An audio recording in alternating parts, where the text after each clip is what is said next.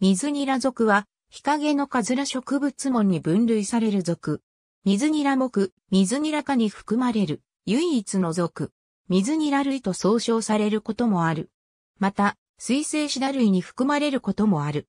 水ニラ属の種は、水田や故障に生息する沈水植物、または失笑植物である。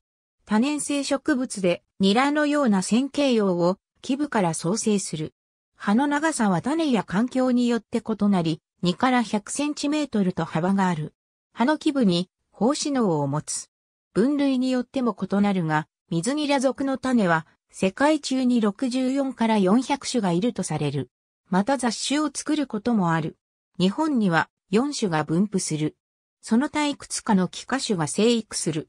水ニラ属の各種はアクアリウムで利用されることがある。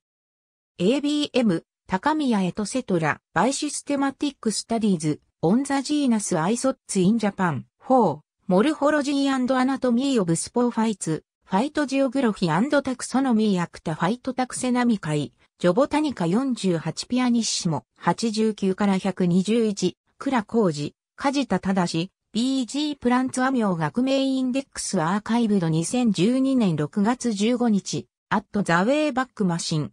ありがとうございます。